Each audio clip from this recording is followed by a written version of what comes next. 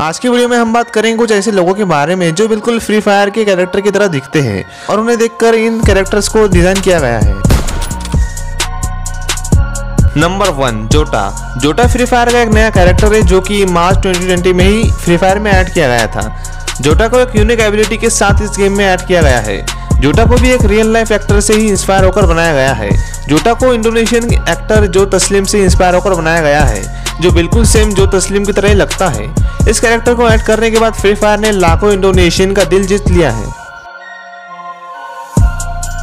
Number two KSHMR KSHMR Free Fire का एक नया कैरेक्टर है, जिसे कुछ दिन पहले ही फ्री फायर में ऐड किया गया था। और इस गेम में आते ही ये कैरेक्टर बहुत से लोगों का चहिता बन गया है।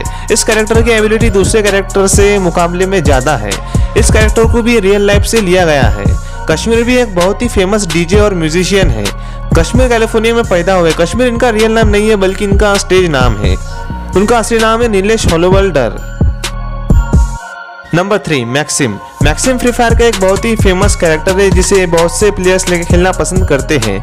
दोस्तों, अगर आप मार्वल के फ़ैन तो आपने मैक्सिम को देखकर फ़ौरन पहचान गए होंगे कि ये और कोई नहीं। बल्कि पीटर मैक्सिमम है, जिन्हें लोग क्विक सिल्वर के नाम से जानते हैं, और यह एक्समैन फ़िल्म सीरीज़ में भी नज़र आए थे।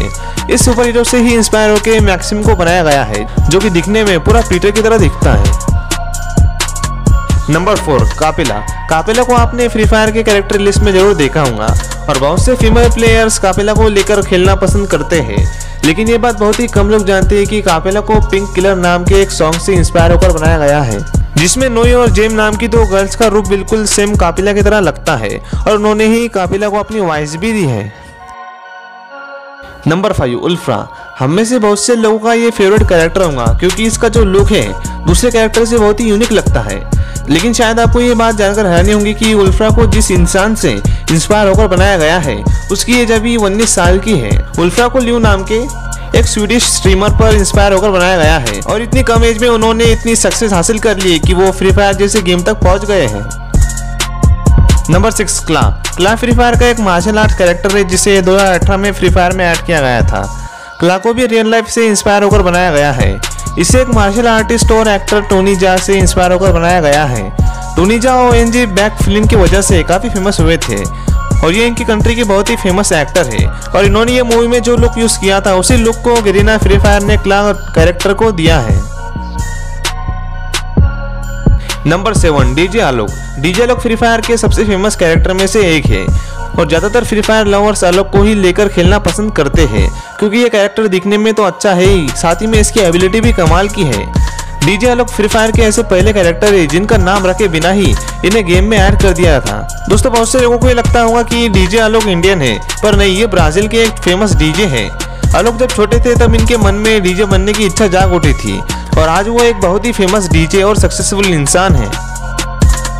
Number eight Rafael Rafael Free Fire का एक पावरफुल कैरेक्टर है, जो कि दिखने में बहुत ही गुस्से वाला लगता है, और इसकी एबिलिटी भी कमाल की है।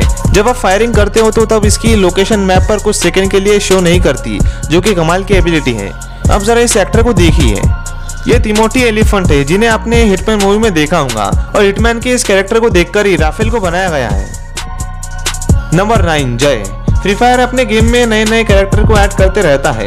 दोस्तों, जय और कोई नहीं, बल्कि इंडिया के फ़ेमस एक्टर ऋतिक रोशन है। फ्री फायर ने ऋतिक रोशन से कोलोब्रेशन करके इस कैरेक्टर को फ्री फायर में ऐड किया था, जो कि फ्री फायर का पहला इंडियन एक्टर है। नंबर टेन पर है मेगुल मेगुल फ्री फायर का एक बहुत ही पुराना कैरेक्टर है, जिसे सितंबर 2018 में फ्री फायर में ऐड किया गया था। जब ये कैरेक्टर फ्री फायर में नया नया ऐड हुआ था, सब लोग इसे समझ रहे थे कि इसे एक ब्राजीलियन एक्टर वेगनान मोरा को देखकर बनाया गया है। हालाँकि ऑफिशियल अनाउंसमेंट नहीं किया गया था कि इस कैरेक्टर को इन एक्टर्स को देखकर बनाया गया है। लेकिन 2019 के बाद इस कैरेक्टर का लुक चेंज कर दिया गया।